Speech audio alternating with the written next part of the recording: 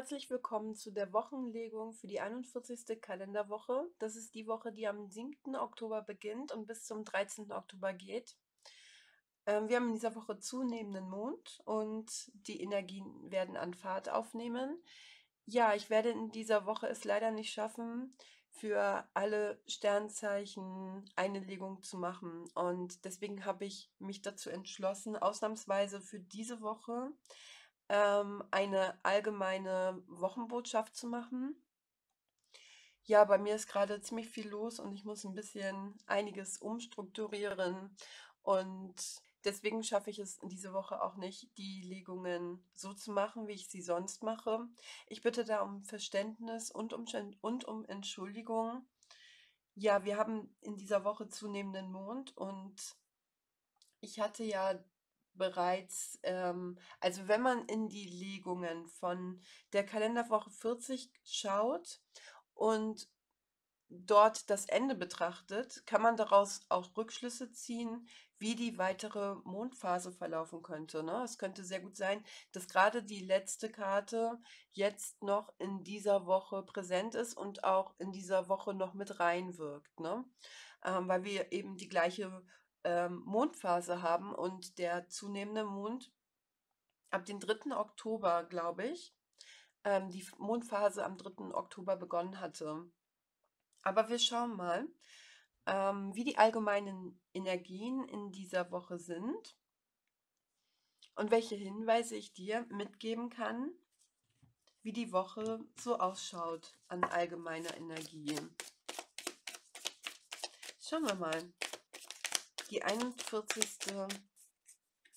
Woche. Mhm.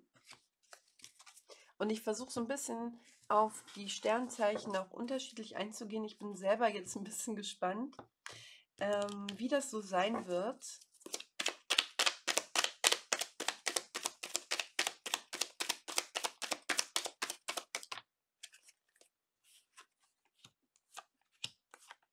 Ja, es könnte auch sehr gut sein, dass ich nach dieser Woche auch einiges umstrukturiere. Vielleicht mache ich dann auch nur noch zweiwöchig Legungen ähm, oder pro Mondphase. Und wenn ihr da eine Idee habt oder wenn ihr da eine äh, Vorstellung habt, könnt ihr mir das gerne in die Kommentare schreiben. Das wäre auch sehr hilfreich, würde mich sehr inspirieren aktuell. Und ich bin sehr gespannt, was die Wochenlegung jetzt so sagt, was so die allgemeine Energie ist. Die Acht, die Kraft. Eine ausgewogene Energie, die uns allen Kraft verleihen wird. Und das passt zum zunehmenden Mond und eben auch zur Waage-Energie. Ähm, Konzentration, Ausgewogenheit und Klarheit bringt diese Karte mit. Auch ausgewogene Gespräche, ne? dass man sich gegenseitig zuhört, dass man auch versucht, über kommunikative Wege Gerechtigkeit in das Leben zu bringen, in die Umgebung und ähm, dadurch wird für uns alle das ein bisschen einfacher, ne? Ein bisschen strukturierter, klarer, ähm, es ist aber auch eine Karte der Distanz gleichzeitig, ne? Es ist auch eine sehr rationale Energie und wir schauen mal, wie das so weitergeht. Mhm. Hier die zwei der Kelche bringt mehr Emotionalität mit rein, ne? Und da sieht man doch einen sehr liebevollen Bezug, ne, dass man sich mit Liebe aneinander wendet und versucht hier wirklich Fairness und Gerechtigkeit, auch ähm, eine freie Form der Liebe, die frei von Erwartungen ist, mit hineinzubekommen, ne? Ausgewogenheit. Und auch irgendwie ein erfrischender eine sehr erfrischende Energie ist das auch gleichzeitig. Sehr interessant, denn diese Karten passen einfach auch sehr gut zu Waage. Und es ist ja auch aktuell Waagezeit. Gepaart ist diese Energie mit einer Prinzessin der Scheiben. Und das kann natürlich eine andere Person in dein Leben widerspiegeln oder sich auf euch selbst beziehen. Besonders wenn ihr ein Erdzeichen seid, aber vielleicht sind wir alle so ein bisschen mehr von der Erdenergie in Form der persönlichen Weiterentwicklung geprägt, ne? Ähm, dass der Personentypus der Prinzessin der Scheiben besonders in den Vordergrund gerät in dieser Zeit. Die Prinzessin der Scheiben ist eine sehr besonnene Person, ne? die sehr nachdenklich ist, sehr ruhig ist, introvertiert, sehr vorsichtig agiert, aber sehr ähm, nachdenklich. Ne? Eine Person, die erst nachdenkt und dann handelt. Und die Prinzessin kann natürlich auch eine männliche Person sein, bringt hier ganz viel jugendliche Energie mit rein und wendet sich widmet sich oft einfach der Ordnung, der Struktur, schaut, wie man Dinge in Ordnung bringen kann und weist hier auch viel Lernbereitschaft auf, ne? Eine Person, die sich oft mit Handwerk, mit ähm, Technik oder mit Hauswirtschaft oder Gartenarbeit beschäftigt und hier sehr viel Geduld, Pragmatismus und konstruktive Energie mit reinbringt. Wir schauen uns diese Person mal genauer an.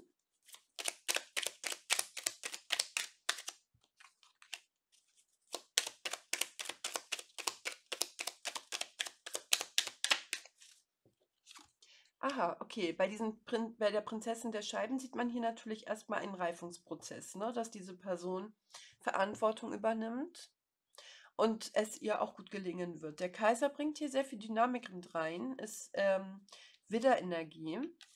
Hier haben wir bei der Liebe übrigens Krebs, ne? Sollte ich vielleicht auch ähm, noch sagen. Ich habe hier wirklich den Eindruck, dass diese Prinzessin der Scheiben hier sehr präsent ist. Ne? Das Erdzeichen Steinbock, Stier, Jungfrau, sehr präsent. Aber ähm, ihr Tun, ihr Handeln ist sehr von Liebe geprägt. Ne? Nicht nur Liebe anderen gegenüber, sondern auch der Wertschätzung sich selbst gegenüber. Das ist das, der Antrieb hier. Ne? Und ich bin mir sicher, der Prinzessin der Scheiben gelingt es über ihr Tun, mehr Liebe und im, im Gemeinschaftssinn, im geselligen Sinne zu erzeugen. Und natürlich auch Liebe in ihrer Partnerschaft oder in der Familie, im Freundeskreis. Man sieht hier ein sehr beherztes Handeln. Ne? Ähm, der Kaiser bringt hier sehr viel Dynamik rein, der Wunsch nach Stabilität, nach Frieden und ein starkes Selbst, ähm, eine starke Überzeugung davon, dass es einem auch gelingen wird. Ne? Ein starkes Selbstbewusstsein, eine starke Präsenz, womit diese Person halt Verantwortung übernehmen kann, aber auch etwas durchsetzen kann, was ihr wichtig ist, etwas umsetzen kann. Und das führt zur persönlichen Reifung dieser Person. Und das könnte, könnte jeder von uns sein. Ne? Also, das scheint in dieser Woche ein sehr zentrales Thema zu sein. In der Vergangenheit die Neun der Kelche.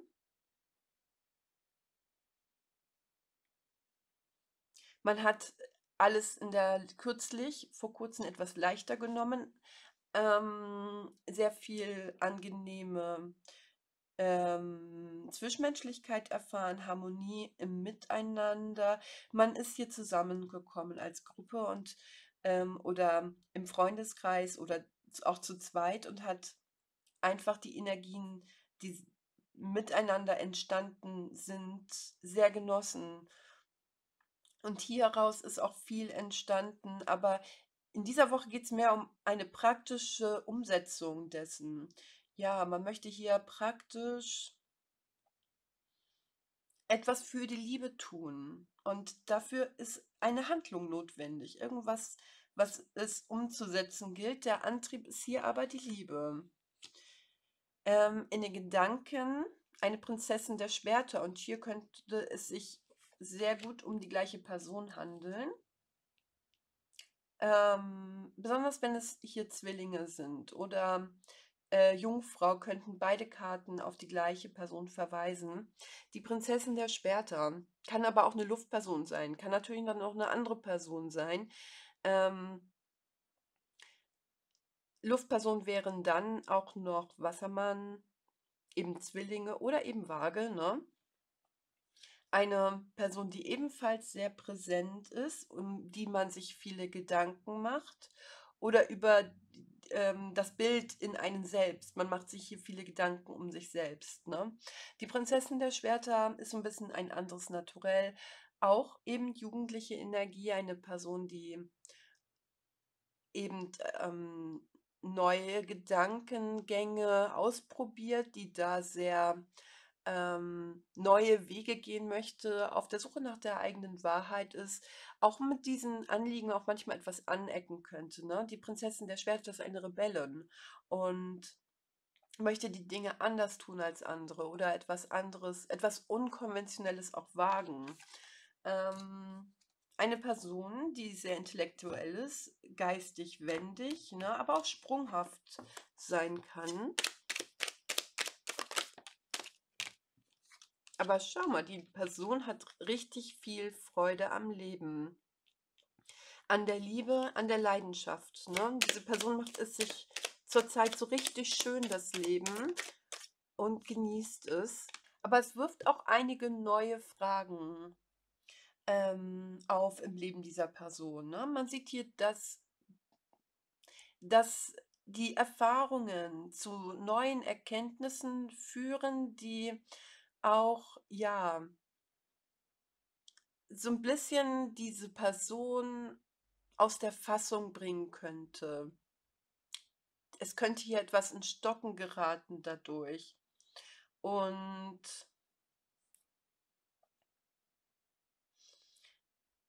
das Ganze hat das Potenzial, dass man etwas von einer anderen Perspektive heraus verstehen lernt und sein Bewusstsein erweitert. Es scheint aber auch eine wirklich sehr wichtige Erkenntnis zu sein.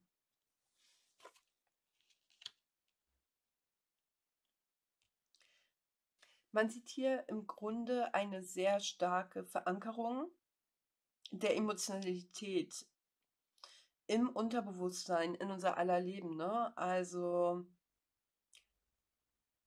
ja, von den Emotionen her ist man zufrieden. Von den Emotionen her ist man in einer harmonischen Stimmung, fühlt man sich verbunden. Das könnte bei den ein oder anderen auch zu Selbstzufriedenheit führen und einen dazu veranlassen, auch sich gehen zu lassen, auch faul zu werden, sich zu sehr treiben zu lassen. Bei den ein oder anderen führt das aber auch zu sehr schönen emotionalen Verbindungen und man neigt hier dazu, aus Liebe heraus, aus Verbindung heraus zu agieren, ganz aus dem Unterbewusstsein heraus. Also man handelt hier mit Liebe und bringt mehr Liebe in die Welt, ne? Und das kann tatsächlich ein Stück weit für alle gelten. Natürlich sind wir alle persönlich an unterschiedlichen Punkten und es ist uns in verschiedenen ähm, Weisen möglich, Liebe miteinander zu teilen, ne? Aber in dieser Woche ist das sehr begünstigt.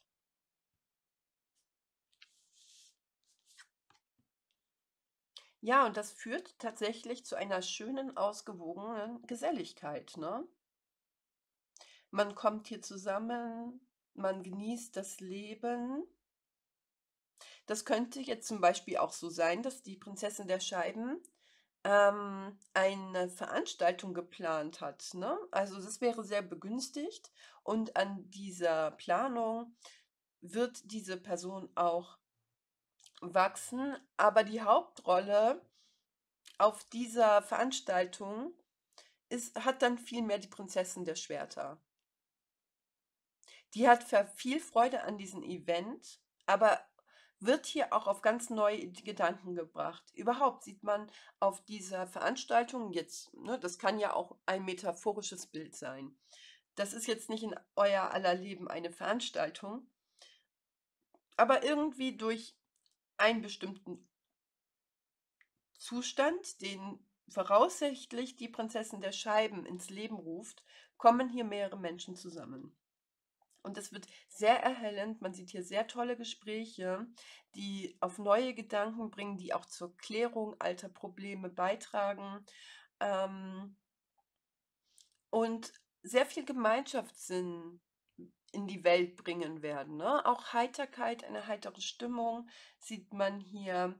Ehrlichkeit, mitunter auch ein bisschen knallharte Ehrlichkeit. Ne? Muss man auch sagen, kann halt auch im Einzelfall sich ins Gegenteil ähm, entwickeln, ne? dass man hier ein bisschen zu offenherzig miteinander ist. Aber auch das kann dann zur Klärung ähm, beitragen. Ne? Es wird auf jeden Fall sehr gesellig und hier kommt Licht ins Dunkel. Hier zeigen sich auch Schatten. Und man äh, kann mit diesen Schatten aber recht bewusst umgehen. Ne? Die führen nicht, ähm, also hier siegt das Licht, kann man sagen. Ne? Hier siegt ähm, das Licht.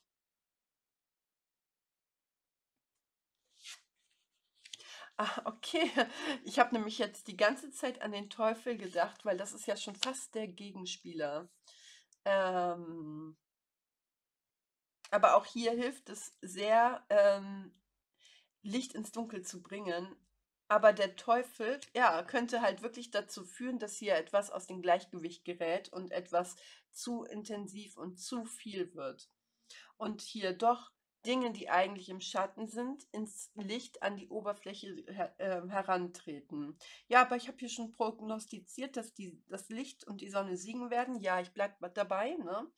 Aber hier ähm, zeigen, zeigen sich doch auch einige Schattenseiten.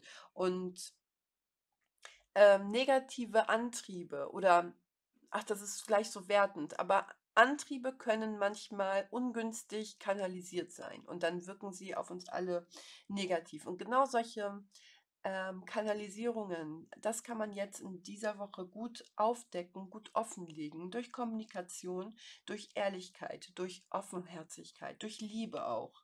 Ne? Aber die Voraussetzung ist halt, dass man sich dem liebevoll annimmt. Und das ist dann schon fast ein Appell an uns alle, uns in Liebe, ne, mit einer gewissen Akzeptanz und Annahme unseren eigenen Schattenanteilen zu widmen, ne, Schattenseiten zu widmen. Diese Seiten sind nicht schlecht an uns, diese Seiten sind nur im Schatten, weil wir sie lange nicht mehr betrachtet haben. Und da verbirgt sich womöglich das eine oder andere ungelebte Potenzial. Ne? Und das ist es wert, genauer zu prüfen. Manchmal reicht es, wenn man sich seinen scheinbaren Unzulänglichkeiten in Liebe widmet, kann man daraus vielleicht etwas anderes machen, ne? Ähm, es anders kanalisieren lernen und dann ist es eine wunderbare Stärke und Fähigkeit. Ja, zum Beispiel. Auch bei den anderen können so eine starken Gefühle deutlicher sich zeigen als sonst. Hier könnten toxische Verbindungen besonders hervortreten, ähm, Eifersuchte, Eifersuchtsgefühle, Selbstwertschwierigkeiten, all das, ne? Ähm, könnten ein bisschen aus, aus dem Gleichgewicht geraten, aber all das kann auch anders verknüpft und kanalisiert werden. Gefühle sind an sich etwas Positives, ne? Und das alles beruht auf Gefühlen und ähm, ja, und hier lohnt es sich, zusammen, am besten zusammen, Licht ins Dunkel zu bringen und zu schauen, wie es, ob es nicht einen anderen Weg geben kann. Ich sag ja, ne, ähm, hier, die Prinzessin der Schwerter ist im Vordergrund, ne, auf dieser Party, auch also, oder Veranstaltung oder Zusammenkunft, ne. Und tatsächlich äh, nimmt diese Person, also die Luftzeichen, eine sehr brisante Rolle ein, aber sie haben viel mit dieser Erdperson zu, in, äh, ähm, ähm, zu tun, ne? also viel gemeinsam, insofern, dass beide heranreifen. Ne? Die Prinzessin der Scheiben reift zum Ritter der Scheiben heran und die Prinzessin zur Königin. Prinzessin, Königin können natürlich auch ähm, männliche Personen sein. Wir könnten es auch hier natürlich mit vier Personen sein. Die Kombinationsmöglichkeiten sind vielfältig, aber was das soziale Leben betrifft, ist hier eine ähm, Königin der Schwerter sehr präsent. Und die Königin der Sch Schwerter, ähm, die steht halt für Klarheit, für Fairness. Es kann sich hier auch um eine gerichtliche Situation handeln, ne? Ähm, Gerechtigkeit, die bringt Klarheit rein, ne? Die ist auch ein guter Moderator, wenn es um Streitschlichten geht, ne? Ähm, diese Person ist sehr geistesgegenwärtig, möchte ihre eigene Freiheit leben, gewährt diese Freiheit aber auch anderen. Und wir schauen uns diese Person mal genauer an.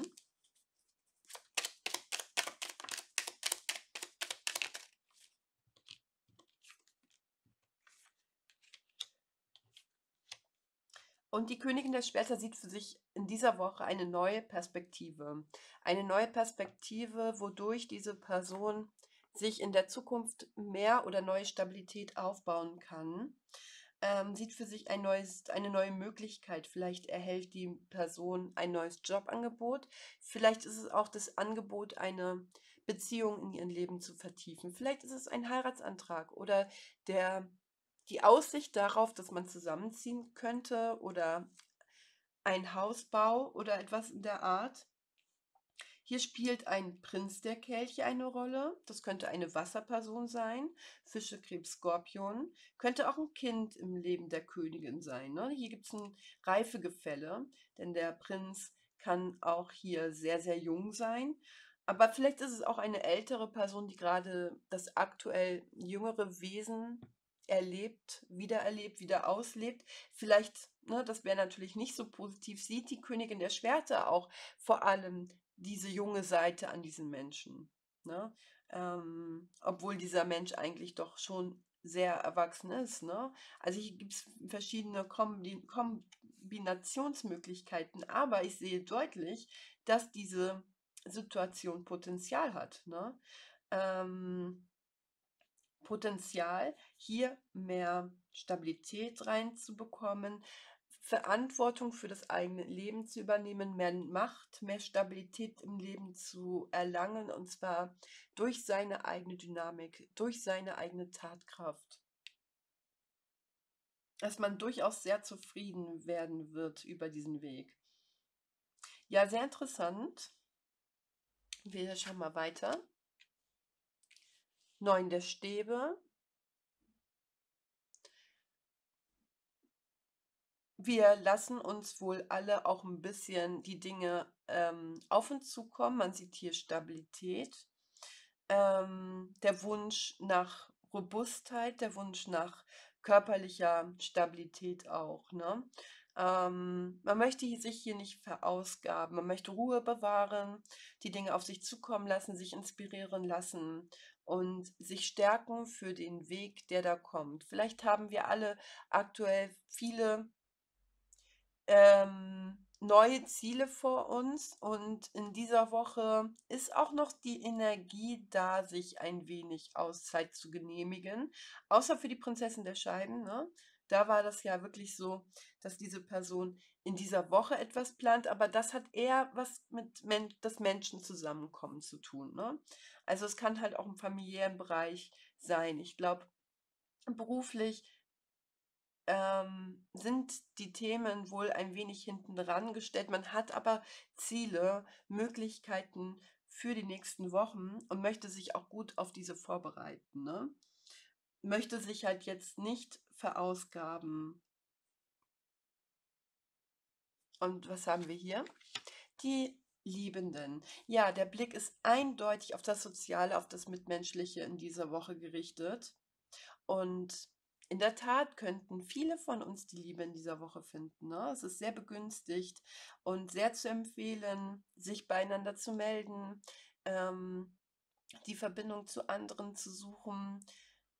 Je mehr Menschen, desto besser. Aber es ist durchaus möglich, dass die ein oder andere romantische Liebe sich im Besonderen zeigt. Auf jeden Fall kann man hier die Verbindungen deutlich vertiefen ne, und mehr ausbauen und mehr Mitgefühl, mehr Verständnis füreinander entwickeln. Und so es kann es ein gelingen, Gegensätze miteinander in Einklang zu bringen und diese aufzulösen. Ne? Letztendlich sind wir alle vereint. Ja, ich muss schon sagen, ähm, diese ganzen Energien Zwillinge, ne?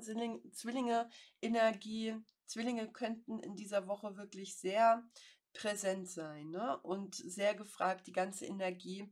Und ähm, Zwillinge Menschen sind auch so, ne? dass sie auch zwar auch manchmal auf recht oberflächliche Art und Weise, aber es fällt ihnen doch leicht, Verbindungen zu anderen aufzunehmen. Ne?